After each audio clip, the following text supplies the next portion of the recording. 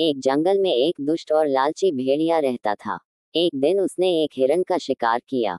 शिकार के बाद पर वह अपने लालच पर नियंत्रण नहीं रख पाया और जल्दी जल्दी उसे खाने लगा।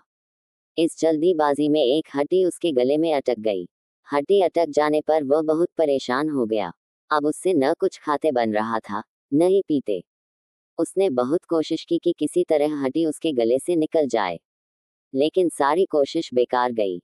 अंत में उसने किसी से सहायता लेने का विचार किया। वह सोचने लगा कि ऐसा कौन है, जो उसके गले से हड्डी का टुकड़ा निकाल सकता है।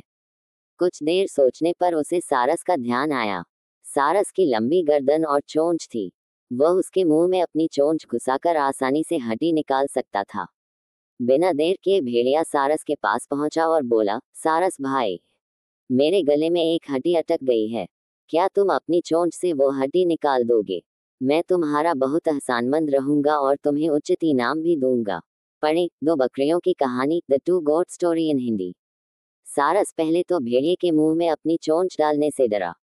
लेकिन बाद में उसे भेड़िए पर दया आ गया और वह तैयार हो गया। भेड़िए मुँह खोलकर खड़ा हो गया और सारस ने उसमें अपनी चोंच डाल दी। लेकिन उसकी चोंच हड्डी तक नहीं पहुँच पाई। तब उसे अपनी आधी गर्दन भी भेड़िए के मुँह में घुसानी पड़ी। सारस की गर्दन मुँह में जाते ही लालची भेड़िए के मन में लालच जागने लगा।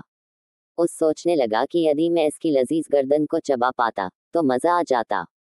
लेकिन उस समय उसे अपने गले में फंसी हड्डी निकलवानी थी, इसलिए वह मन मारकर रह गया। कुछ ही देर में सारस ने उसके गले से हड्डी निकाल दी।